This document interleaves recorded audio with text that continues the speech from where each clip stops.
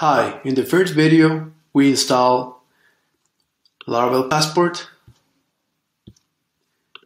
We also install JSON API auth to add all these scaffolds for authentication using APIs and we register a user. In this video we're going to test login. We have this endpoint slash API slash login or we can see the endpoint in the terminal. So we have login that is API slash login for the login route. Well, I have a user that is John Doe.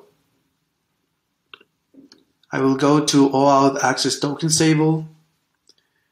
I use the URL slash API slash login. This is the URL of the project.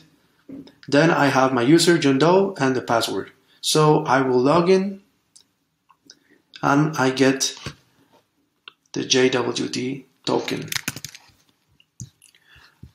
Now, as I see, I could refresh and I have two tokens.